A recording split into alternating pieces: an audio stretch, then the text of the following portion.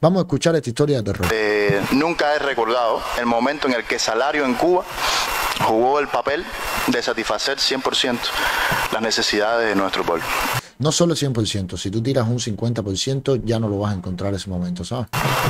Esto quiere decir Justo, junto con lo que aquí se ha expresado de que el salario ha tenido una un 50% de capacidad, una disminución del 50% de capacidad de compra en todo el sistema de comercio, estatal, no estatal, quiere decir que es muy difícil que en la manera en que hoy hemos diseñado eh, nuestra economía, nuestro salario, pueda existir un precio que digamos 100% que la gente va a estar feliz con eso y que le va a alcanzar su salario para satisfacer esas necesidades. ¿Sabes por qué? Porque cuando se planifica una, una, economía, lo que ocurre es esto. Fíjate, esto ya no tiene nada que ver, vamos a quitar la dictadura de la fórmula. Cuando tú, esto es nada más que, esto es socialismo. El socialismo no funciona porque planifica la economía. Porque no permite que la gente emprenda libremente y negocie con libertad. La libertad económica es lo único que va a llevar a la prosperidad económica. Eso es, es que eso es muy básico, señores. Eso no, no lleva a otra explicación. Y aparte es muy fácil de entender que tú tienes que satisfacer una demanda y son las personas las que lo tienen que hacer, que no existe genio alguno, ni gremio de genios, ni grupo de personas que se puedan sentar a planificar y a, predecir qué es lo que va a querer la gente el día de mañana. No existe la manera. Yo una vez vi un video de YouTube eh, que lo explicaba al principio de aquí de llegar a España, que comencé a estudiar algo de economía y no recuerdo, no recuerdo qué, qué video de YouTube vi, pero ponía el ejemplo de Puerto Rico y de Despacito. Cuando sale la canción de Daddy Yankee con Luis Fonsi de Despacito, los vuelos a Puerto Rico se abarrotaron. Se abarrotaron, fue una locura. Y entonces ahí empezaron a crecer las, las acciones de, de, ¿cómo se llama esto? De las empresas de viaje, de todo ese de, de, de, las aerolíneas, todo lo que, todo lo que estaba, que giraba en torno a los vuelos a Puerto Rico, comenzaron a crecer las acciones. Eso era algo impredecible.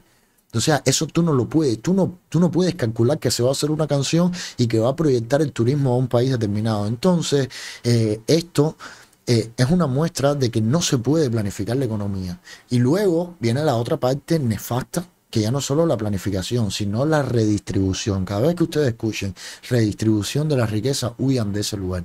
Por eso yo me estoy replanteando huir de España, porque hablan demasiado de redistribución de riqueza. En los debates lo mencionaron en dos ocasiones y yo me quedé dormido viendo los debates. Ojo, y lo escuché en dos ocasiones, redistribución de la riqueza, y yo diciendo, Dios mío, Sare, te están hablando de comunismo y los españoles no se dan cuenta porque no conocen cómo funciona la economía, no lo comprenden, no se leen los, los programas. Es una pena todo. Pero bueno, vamos a seguir escuchando a este señor. Les pongo un ejemplo. No hay un queso Gouda que cueste menos de lo que, de lo que se le paga en un mes a un trabajador estatal. Aquí es cuando reconocen que un, un, queso Gouda cuesta más, o sea, eh, que, tu salario. El precio es mayor que, lo que tú percibes en todo un mes de trabajo. O sea, es algo absolutamente ridículo. No se sostiene por ningún lado. Es inhumano, sinceramente. Yo ahora mismo, en la, de verdad, en serio, ahora mismo yo tengo ahí queso Gouda, queso cheddar y otro tipo de queso más. Tengo tres tipos de queso para panes. Tengo también el queso picado, que es queso semicurado, que yo me lo como mientras voy cocinando o mientras estoy haciendo algo, lo como para picar. Ojo, o sea, tengo cuatro tipos de queso en el refrigerador y apenas, y, y, la compra la hizo mi mujer. Si la compra la voy yo, compro más queso todavía, pues me encanta. Estamos hablando mínimo 4 mil a 6 mil pesos. Cuesta una barrita de queso boda de esta. y como se importa, no se produce en el país, ese es el costo mínimo, el mínimo, mínimo, mínimo. Para que se entienda, señores, que ese pensionado, ese asalariado de 4 mil pesos como promedio que tenemos en el país, nunca va a estar conforme ni podemos darle nosotros la esperanza de que esta va a ser la medida que le va a garantizar a ellos que su salario le va a alcanzar. ¿Y ahora qué va a pasar con este señor? ¿Lo desaparecerán? Yo sugeriría estudiar, no limitar. ¿Qué tú, qué tú, qué? Yo sugeriría. Sugeriría. Ah, el tipo va a sugerir. Ay, como ñanga, sugeriría, yo sugeriría. Ay, mi madre, ni para hacerse una autocrítica, ni para hacerse una autocrítica son competentes los comunistas. Estudiar, no limitar las empresas comercializadoras. Hoy tenemos un grupo de empresas comercializadoras que se la aprobó en sujeto social. Y podemos hacer algo parecido a lo que hicimos con los PDL. Hoy hasta aquí, lo, discúlpeme, con los cooperativas. Vamos a aprobar 2.000 cooperativas en Cuba y ahí nos vamos a quedar.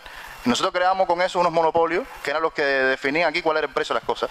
Hemos experimentado en el país que mientras más empresas comercializan productos, más bajan los precios. Coño, no jodas, Cere. Mentira, oye, de lo que uno aprende, compadre. Me he quedado loco. Yo eso no lo sabía, que mientras, mientras más competencia, más bajan los precios y más aumenta la calidad. Oye, compadre, ha descubierto, el hombre lo ha descubierto ya. Mira, el secreto de la economía mundial. Un aplauso para este muchachón. Después de 64 años construyendo el socialismo, se ha atrevido una persona a decir que mientras más expresas produzcan la misma cosa, el mismo producto, pues más bajan los precios. Me he quedado loco. Ay, Dios mío. Esto es para que tú veas lo que es la economía marxista. Que este señor se viene a dar cuenta ahora. Hemos visto una cerveza hoy a 120 pesos y estamos viendo el pollo que está bajando de precio, los artículos en Facebook que hablan de que el aceite está bajando a precio, porque hay mucha gente que lo está haciendo. Y el mercado, que son las leyes de la economía, no las administrativas, las leyes de economía, que es como el agua. Lo que usted cierra por aquí, el agua se va para el otro lado. Eso no lo para nadie. Eh, Ay, Dios mío, pero este es comunista. Esas leyes de la economía, sin improvisación, eso está estudiado, no son capaces de regular también ese precio. Y hemos visto una tendencia, y está en todas las redes sociales. ¿Qué es lo que se regula por naturaleza propia? El libre mercado regula los precios, las personas, los consumidores regulan los precios, más que las empresas. Olvídate eso. Pero con los monopolios ya funciona diferente. Y con las dictaduras, con los gobiernos totalitarios, con los que controlan la economía, también funciona de otra manera. De ayer para hoy, que están diciendo que hace como tres o cuatro semanas que no se aprueba ninguna pyme de comercialización, que, es lo que está pasando, que estamos esperando en la Asamblea Nacional, a si dicen que las van a cerrar. hay toda una expectativa con esto. Y yo considero que deberíamos estudiar si realmente la medida esta de, eliminar, o, las quitamos todas o las dejamos que existan todas, pero eso de crear monopolio de las que están son las que rigen por dónde se mueve el, el dinero y cómo se venden las cosas, yo creo que es una mala idea.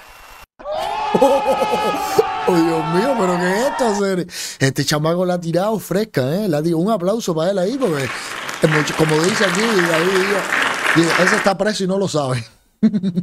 Pero el hombre, ¿cómo, ¿cómo se le ocurre a ese muchacho ponerse en la asamblea de gordos, apestosos, sectarios, esos comunistas todos, que son de mentes cuadradas, que lo único que le importa es ir ahí a hacer como hacer su buen papel de burócrata?